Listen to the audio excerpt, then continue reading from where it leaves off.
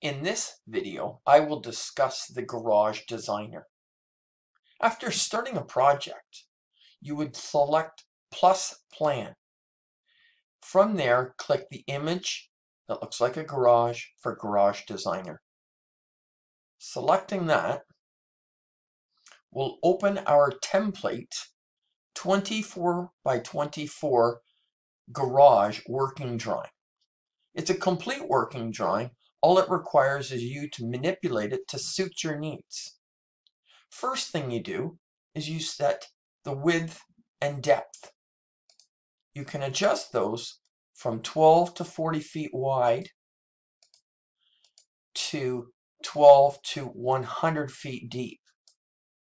I'll do 24 by 30. You can do it to the inch as well. It's just for single family dwellings, and next would be your type of foundation that you want. I'll flip over to the foundation plan. You can see all the working drawing notes on there. And you can either do poured concrete, concrete block, ICF, and as you can see, as I switch items when I'm manipulating it over here, you'll see images on this side change, and an engineered slab and you can pick how you want that to be done. I'm going to leave it with poured concrete. You can change the thickness, the depth, the type of um, earth that it's being put on, and the strength of concrete if you know what it's going to be. Next is the wall tab. So I'm going to click walls. You can either do wood frame or ICF as long as the ICF is picked for the foundation. Right now I don't have it. That's why this little image is coming up here saying I don't have it picked. Um, we have 2 by 4s at 12, 16, and 24, and same with 2 by 6s Wall sheathing, all different types, and stud heights. So if I go to a front elevation, you'll see that it's 8 foot 9 and 8. That includes the 8 inch plus the studs and the four plates on top with a pre-cut. I could change that to 10 foot, and you can see how it goes up. So it's gone 10 plus the 4 uh, plus the 8 inch um, that the foundation sticking up plus the four and a half inches equals 11 foot. So you can adjust the height of your top plate depending on where you want it to be and how high you want your wall. So, and you can do it to the inch and have fractions if you wish. You can change the outside cladding from horizontal to vertical and changing the gable ends separately if you want them. They could be, you know, shake and so, so forth. So you can see how that adjusts. Um, you could do horizontal or vertical with a stone skirt.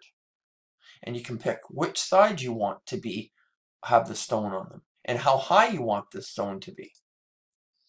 Um, interior finishes, and these are in um, drywall and plywood and insulation are yes or no is just strictly for the material list because you're going to have a full material list of every single thing that you're going to require for this garage when you're done. Um, corner boards you can put in. I'll pick uh, maybe a 5 inch corner board so you can see the corner boards one on and a frieze board up in the top across there. Uh, this wall flip is if the um, doors on the eave side. Anyways, we'll talk about that one another in, in separate videos. Next is roof. I'm going to select roof, and you can either have a gable roof, which you can see right here, or a hip roof, which comes down, right? And if I look at it from a left side, you can see it coming up, across the ridge, and back down. If I pick gable, it's a gable on either end. We have different roof pitches. You can go from 412 all the way to 1212 with half pitches. Just select whichever one you want. Sorry, it's meant to be on front. And you can see how it changes in the elevation. So again, you're just manipulating this drawing to suit whatever you want. So I've got an 812 there. You can change the heel height, move it up. That gives you more, maybe you're going to insulate it, so you can adjust all of that in there. The eave overhang, you can see 1 foot 10 back to 12 inches uh, the gable and so we'll change to a left you can see it's one foot four. I could change that to 24 or 20 and you can see it's gone to one foot eight. You can change uh, materials to metal roofing to cedar shakes which look the same but it's noted differently. Uh, all the different types of sheathing that you might want to have on the wall. Gable end can either be a wall or a truss, and the lookouts can either be 2 by 4 or 2 by 6 This roof return, if I go to a front, if I click on here, add roof return, it's these little, they call them roof returns. This one comes out, you can say how long you want it to be right here. We go up to 36 inches. You can have that as a hip, which it returns back in, or perhaps you want it to go all the way across. And you'd see that more if I go into my walls and change my end cladding to maybe vertical. You can actually see now there's a little shingle line on there. So, um, and that's it for the walls. Uh, next, uh, sorry, that was roof, and that was the end of roof. Um, so the last one is openings. I'm going to select openings, and I'm going to, I'm in the front, and you can work in any plan that you want or in elevation when you're doing this. So in the front, I'm going to add an opening, and I'm going to put a garage door in. So it puts the garage door in over on the side, and if you want it to be centered, you select centered, moves it over the center. Maybe you want to change the width of it to 16 feet. It puts it in. I'll go back to uh, 9 feet, go to plan, and you can see that for a 9 foot wide door in this particular location, um, climatic location, it's put in two 2 by 6s. Now that all depends on where you're located. So if you're way up north in, in Ontario or um, up in Quebec, you know, that might be 2 by 8, but it's all based on, on loading conditions of snow. So if I change that back to the 16 foot door, you can see it's gone to two 2 by 12s. So the program automatically does everything for you. You don't need to know anything about structure. You just need to know what it's going to look like, and that's it. So you can adjust those. You can adjust the height. So let's go back onto the front here, and we've got lots of room here to make that higher door. So maybe you want your 8 foot high door. So you put it 8 foot and up it goes. Um, you can override the uh, lintels if you want. Right now it's showing you what all the um, the bending and shear and everything like that, all the structural is for it. But maybe you've got, um, it's saying two two by twelve, but maybe you want to put in three 2 by 8s if, because you've got lots of them around. You can go in here and adjust it if you like. So um, I'll switch over to the left side. I'm going to put in um, a garage door in there as well. If I go to plan, you can see that it's put in two, uh, sorry, three 2 by 12s with double jacks because there's a lot more load on the eave side because that's where the roof is sitting. But if I increase that, say to 12, you can see it's automatically going to LVL. So it'll either pick regular lumber up to three plies if it can, and then if it can't, then it'll go to LVLs, and then if it can't, it'll put a steel beam in. And if I go back to walls here, it's gone 2 by 6. Automatically above 9 foot 10, it automatically goes to 2 by 6s. It already knows that 2 by 4s are only good for that height. So back in our openings here, maybe on the right hand side, maybe I'll put in a door. So I'll put the man door down in here. And it's, you know, and then, so instead of centering that, maybe I want to move it from the edge, from the left corner. Let's move it six feet up. So now it, that's six feet from the corner to the edge. So if I was to go to my foundation plan, you can see there it is there. Six, the rough opening is three foot four, and all those notes are on there. So the rear, I could put one in as well. So now I'm going to go back to roof. See, stairs is not enabled because it only works with attic trusses. So I'm going to go back to roof, and I'm going to select attic trusses. And now we have an extra plan called loft. So if I undo that, you can see we only have foundation and main floor plan. If I select attic trusses, now we have a loft plan. And you can see now we have attic trusses, and they're usually about half of the width. So this would be 12 or 13 feet in here. So, and you can adjust that. You can come down here and you can change, you can make it more. We know that likely can't be any more than that. And you can go actually into um, your building section you can actually see it in here. Ultimately, it'll be up to the truss manufacturer, um, depending on your load and whatever, they'll tell you what the maximum size is, but you can tell them what you're looking for and then it'll go from there, sort of thing. So, uh, Um, but to have stairs, you must have um, attic trusses because you need to be able to get up in there. So I'm going to go to the main floor plan and I'm going to add stairs now. So there's an additional cost of $20 for that. I'm going to click it and you can see it automatically put all the engineering in and everything, all the loads, the girder that's landing on this, updated this. It went from a 11 and 7 eighths to a 14 inch because it knows there's a girder truss sitting on there. So all of that engineering is being done for you automatically. Now you can switch the uh, the door around. I could put it on this side, but it'll say, well, it's in the middle of a door, so you can't do that. Um, and down here, same thing. There's a door down on this one here. So I'll just leave it up in the top corner in here. And once I added the stair, it adds a, a stair section. So now you've come up to a landing and up, and then it's coming into here. So and if I go to the foundation plan, it now says that there needs to be a pier right here, and that's to support the post that is there for the stair landing. So that's about it really for the um, the garage. Again, this is the full working drawing. You could click on each one of these plans and you'll actually see them all after I prepare this.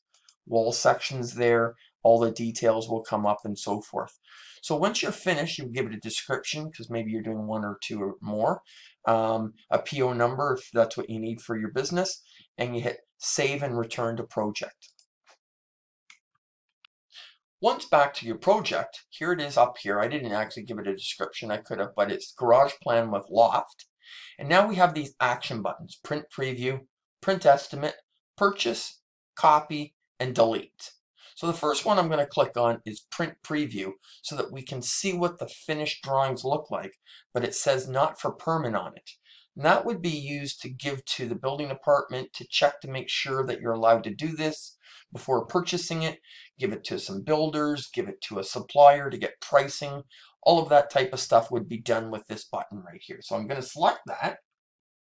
And in Chrome, it opens up down in the bottom left-hand corner. So I'm going to select that, and there it is. So it says not for permit on here. It's got your logo, your name and number, and nothing else on there for seals or anything like that. So when you go to purchase it, it removes the not for permit, puts the engineer seal on, and so forth. So you can see the front, we've got our stone, we've got our door, it's in Bracebridge for the loading, all the stuff's on here, we've got our stair on here, all the different loads, loft plan, uh, roof plan, oopsie, elevation, that's the front, that's the rear, that's the left, right.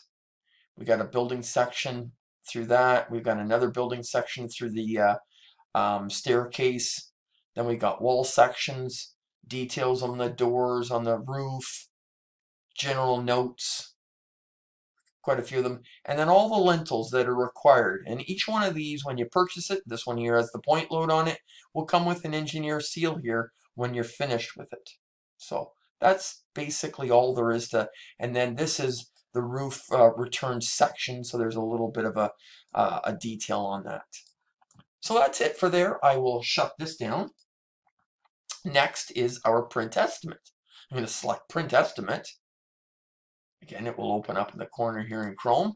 Select it, and here's the full material quantity takeoff. So we've got all the stuff for the foundation, concrete, anchor bolts, wire mesh that you're going to need for anything in the slab. Next is all the frame walls, 2x6 studs at 12 or at 16 inch centers. We've got cripple studs for above openings and so forth. Then we've got all the wall sheathing, nails, and so staples and everything, cladding. We got the caps and so forth for the cultured stone. Now we only have cultured stone on this. It's not full thick with stone on it at this time. Uh, cladding, we got J mold, frieze boards, caulking, nails, all the lintels and fasteners, openers, uh, accessories, bundles, spray foam. Um, we've got uh, trusses, all what you're going to need. You need 14 standards and two dropped, and one stair girder. And again, that would be given to you by the uh, truss company for the exact ones that you need. All your lookouts, all your roof framing and sub fascia boards, anything to do with the loft here, and the roof framing and fascia board, uh, and the roof return that's coming across the face of that. So every single piece of material that is needed to uh, build this garage is in this material estimate. I'll shut this down. And then the last one, well, I could copy it and duplicate it and then modify it. Maybe I don't want a loft. I want to show it to my client in two different ones, uh, one without, one with not. So I won't duplicate it. But say you're happy with it. The town says you're good to go. You're happy with the price. Uh, you've got all the supplier uh, uh, pricing and so forth. Now you want to purchase it. So the last thing would be you have to make sure all this information is filled in first. And if it is, then you hit purchase. It says, do you want to buy this for $20 premium for 215 because a standard garage is $195 plus the staircase is 20 215 I'm going to click purchase. And now it moves from the in progress section of your project down to the completed area. And here it is here. So garage plan with loft. And the action button now is download PDF. So I'll select that and it'll open up and it has removed the not for permit and put the engineer seal and there's a engineer technologist as well signing off on these with BCINs in Ontario. Um, and that's every page is exactly the same as the other one. It's just got the not for permit removed from it. And I will shut that off. It brings me back to here and I could start another one if I wish um, and go from there. And that's how the Garage Designer works.